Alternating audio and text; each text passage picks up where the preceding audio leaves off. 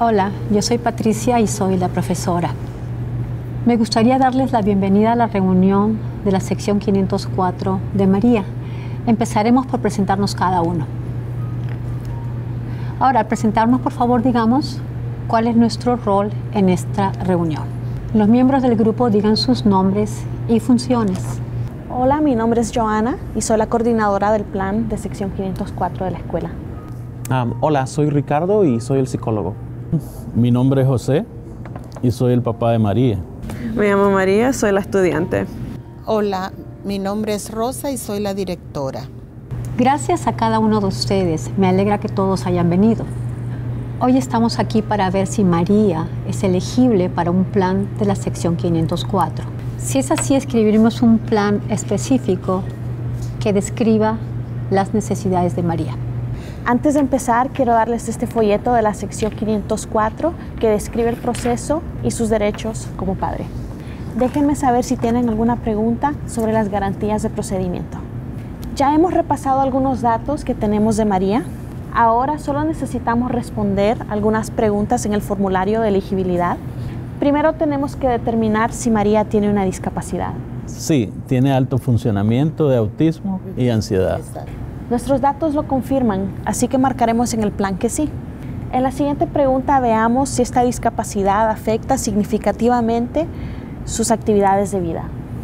Estas actividades podrían ser como aprender, pensar, concentrarse, caminar, respirar o moverse. He hecho algunas observaciones en la clase y uh, he notado que algunas veces cuando María se pone ansiosa, ella se desconecta. Entonces ella sale de la clase y no quiere regresar. Siento que esto afecta su capacidad de aprender. Siento que concentrarme es algunas veces difícil para mí. Es difícil para mí enfocarme siempre en hacer mi trabajo y algunas veces olvido hacerlo.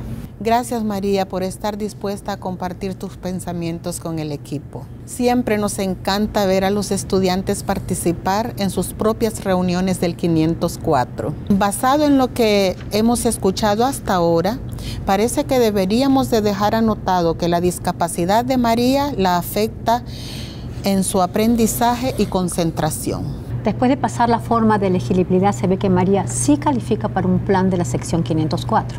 El próximo paso es empezar a crear un plan 504 que ayudará a María a accesar su plan de estudios durante su tiempo aquí en la escuela. Queremos considerar sus necesidades y fortalezas, las acomodaciones que necesite y quién será el responsable de cada parte del plan. Queremos empezar considerando qué está yendo bien para María y cuáles son sus fortalezas. Algo que creo que es realmente una fortaleza de María es cocinar. Ella ha tenido mucho éxito formando del grupo ProStar Cooking en su clase de cocina. Estoy de acuerdo, cocinar es mi favorito. También me gusta mi clase de alimentos. Estupendo. Mantendremos esto en cuenta a medida que vayamos creando el plan 504. Ahora que hemos discutido algunos de los puntos fuertes de María, tenemos que hablar un poco acerca de los desafíos y las metas. Así sabremos en lo que tenemos que trabajar. Estoy preocupada acerca del trabajo no completado en clase y la tarea no terminada. Creo que tenemos que pensar en algunas acomodaciones que puedan ayudar con esto. También me preocupa que ella se desconecte y deje la clase debido a su ansiedad. Me gustaría ver algunas acomodaciones que ayudarían a María a manejar y a tratar mejor la ansiedad. ¿Cómo te sientes al respecto, María? Siento que sí describe los problemas que estoy teniendo. María, ten en cuenta que si las cosas cambian, siempre podremos reunirnos otra vez para actualizar el plan 504. Ahora que hemos discutido las necesidades, estamos listos para pensar en cuáles acomodaciones son necesarias. ¿Qué tipo de acomodaciones podemos intentar para ayudar a María a completar sus asignaciones? Creo que deberíamos de implementar un, un organizador o una agenda para su uso diario. El organizador es una hoja de papel en donde los profesores pueden escribir si María entregó las asignaciones de su clase. Así María también puede escribir cuando lo necesite.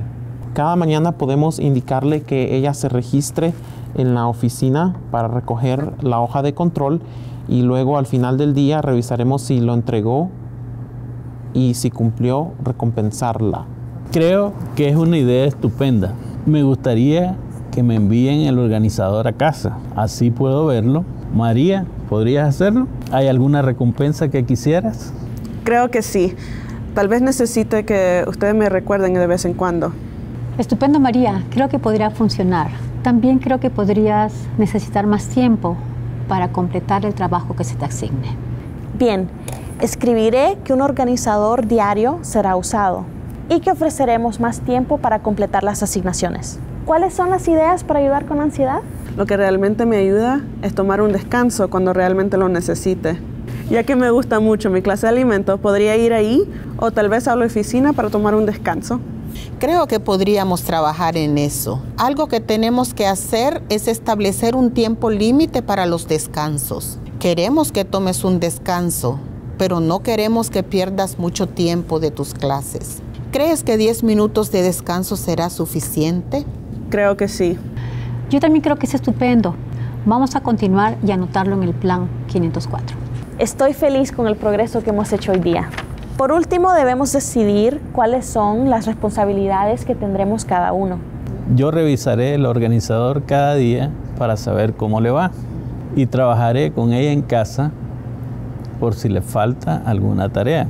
Yo haré lo mejor para usar mi organizador y también le avisaré a la profesora cuando necesite un descanso. Yo trabajaré en tener el organizador configurado eh, lo tendré listo para lunes. Seré responsable de que todos los profesores de María tengan el plan 504 y me aseguraré que tengan el conocimiento de las acomodaciones. Todo suena realmente bien. Solo me pregunto, ¿a quién debo de acudir por si tengo alguna duda o pregunta? No duden en llamar o enviarme un correo electrónico en cualquier momento.